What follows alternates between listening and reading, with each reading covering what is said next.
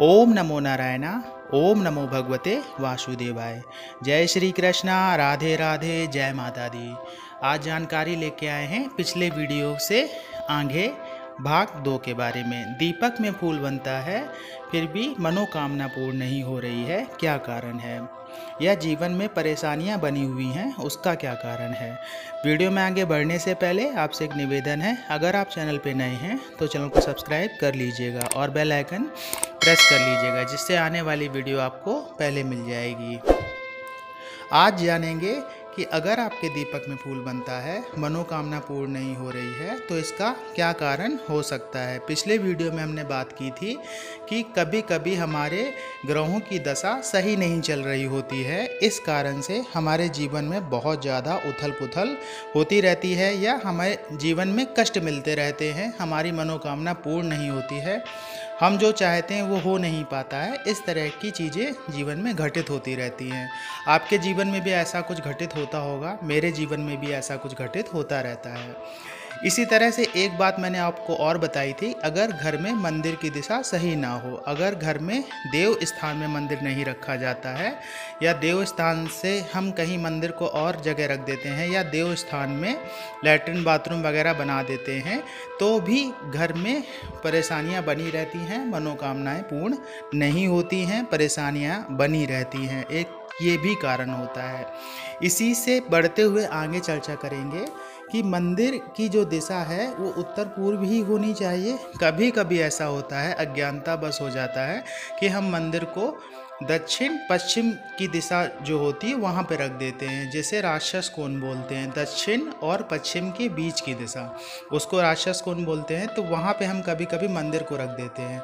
मंदिर वहाँ पे बिल्कुल गलती से भी नहीं रखना चाहिए, क्योंकि वो राक्षस कौन है, वहाँ पे देव स्थान नहीं होता है, वहाँ पे सकारात्मक ऊर्जा नहीं रहती है, सकारात्मक एनर्जी वहाँ पे नहीं रहती है, वहाँ पे नेगेटिव एनर्जी का एक तरह से स्थान होता है। अगर हम वहाँ पे पूजा पाठ करते हैं तो सकारात्मक ऊर्जा पैदा नहीं होती है, नकारात्मक ऊर्जा ही पैदा होती है। तो ऐसे में अगर फूल भी बनता है, आपको संकेत भी मिलता है तो कहीं ना कहीं आपकी मनोकामनाएँ पूरी पूरी नहीं होती हैं या जीवन में परेशानियाँ बनी रहती हैं।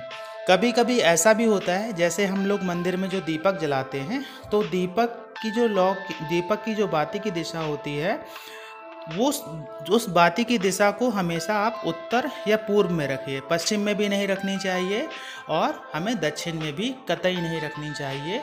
हमको हमेशा उत्तर की दिशा में या फिर पूर्व की दिशा में बाती को रखना चाहिए। मतलब उस दिशा में दीपक का जो दिशा होती है उसको उस दिशा में रखना चाहिए। दीपक को रखने की दिशा नहीं बता रहे हैं। दीपक की जो बाती होती है वो जलाते हैं, उसकी बात कर रहे हैं।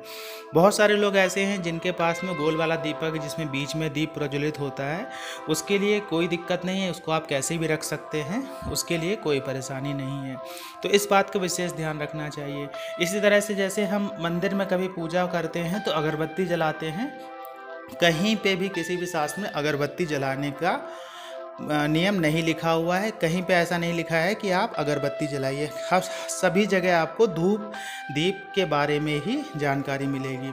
अगरबत्ती इसलिए नहीं जलानी चाहिए क्योंकि वो बाँस की बनी होती है। और आप भी जानते हैं इस बात को कि हमारे हिंदू धर्म में बाँस को नहीं जलाते हैं, नहीं जलाते हैं, बल्कि जलाना इसको अशुभ माना जाता है। तो ऐसे में अगर आप घर में अगरबत्ती जला रहे हैं, आप अपने श्रद्धा मन से जला रहे हैं, आप कोशिश तो सब कुछ सही करें, लेकिन जीवन में परेशानियों का कारण एक ये भी हो सकता है। तो हमें अपने मंदिर में हमेशा धूप का प्रयोग करना चाहिए या दीप का प्रयोग करिए, लेकिन अगरबत्ती का प्रयोग ना करिए, अगरबत्ती मत जलाइए। वहाँ पे हमेशा धूप ही जलानी चाहिए। तो एक कारण एक ये भी हो सकता है। और बहुत सारे छोटे छोटे कारण भी होते हैं। कभी कभी क्या होता है, जैसे हम अगर माँ, अपने माँ बाप की सेवा नहीं करते हैं तो अपने माँ बाप की सेवा ना करने के कारण भी ऐसा हो सकता है कि हमें उनका आशीर्वाद प्राप्त नहीं होता है और हम अपने जीवन में सफलताएँ प्राप्त नहीं कर पाते हैं। कभी किसी वजह से, कभी किसी वजह से अगर हम उनकी अवहेलना करते हैं या उनको सम्मान नहीं दे पाते हैं तो भी हमारे जीवन में कष्टों का जो समय हो, वो चलता रहता है। बहुत सारी चीज़ें अच्छी होने के बाद भी हमको उसका फल नहीं मिल पाता है। इसका एक कारण यह भी हो सकता है। इसी तरह से हमें महिलाओं का भी बहुत सम्मान करना चाहिए। हमें महिलाओं को किसी भी रूप में प्रताड़ित नहीं करना चाहिए। चाहे वो आपकी माँ हो, चाहे बहन हो या कोई आपके साथ में काम करने वाली महिला हो, कभी भी उनके सम्मान से हमें छेड़छाड़ नहीं करनी चाहिए। उनको सम्मान देना चाहिए और उनको सम्मानित नज़र से ही देखना चाहिए।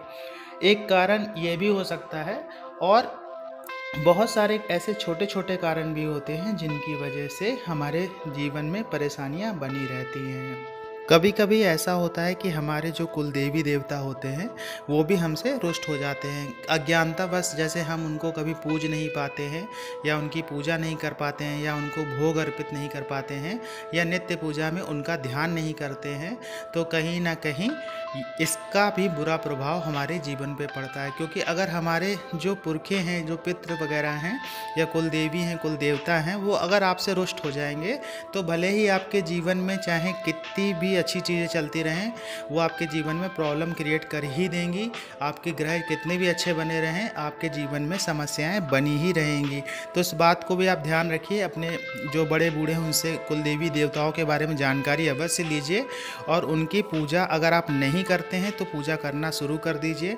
अगर अगर आप उनसे उनके बारे में जानिए, जो आपके बड़े बूढ़े हैं, और उनकी पूजा अवश्य करिए, उनको भोग अर्पित करिए, उनके लिए दीपक जलाइए, और उनको नमन करिए, और कान पकड़ के उनके सामने गलती भी स्वीकार करिए कि हमसे अज्ञानता, बस ये गलती हो गई थी, हम आपको, आपकी पूजा नहीं कर पाए थे, हमसे कुछ इस तरह से गलती हो तो हमें क्षमा करना, हमारे ऊपर अपनी कृपा बनाए रखना।